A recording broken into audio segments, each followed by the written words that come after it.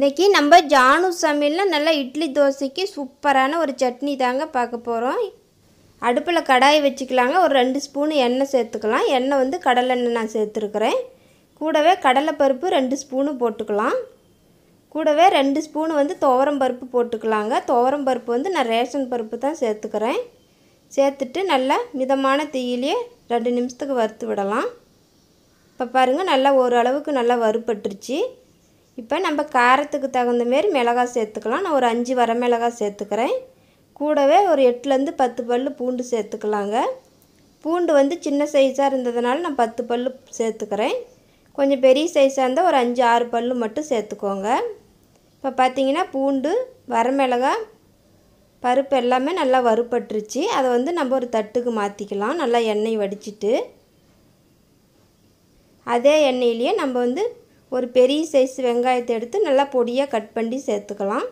சேர்த்துட்டு அந்த வெங்காயமும் நல்லா ஓரளவுக்கு வதங்கணுங்க. இப்போ பார்த்தீங்கன்னா அந்த வெங்காயம் நல்லா ஓரளவுக்கு வதங்கிருச்சு. மீடியம் சைஸ் தக்காளி பழம் ரெண்டு எடுத்து நல்லா நாலு நாளாக கட் பண்ணி சேர்த்துக்கலாம். சேர்த்துட்டு இந்த தக்காளியும் நல்லா ஓரளவுக்கு வதங்கி வரட்டும்.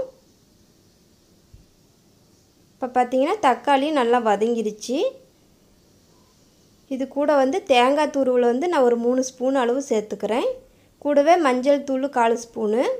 ஒரு ரெண்டு சிட்டிக்கு வந்து பெருங்காயத்தூள் சேர்த்துக்கலாங்க. சேர்த்துட்டு நல்லா ஒரு களை கலந்து விட்டுட்டு சின்ன நெல்லிக்காய் சைஸ் புளி வந்து சேர்த்துக்கலாம்.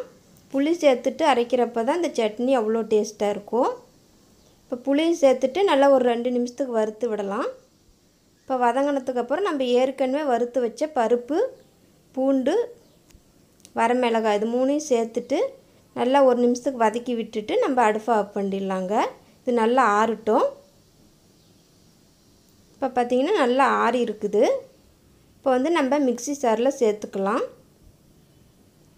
சட்னி வந்து டேஸ்ட்டு ரொம்பவே சூப்பராக இருக்குங்க. நல்லா இட்லி தோசைக்கெலாம் சூப்பராக இருக்கும்.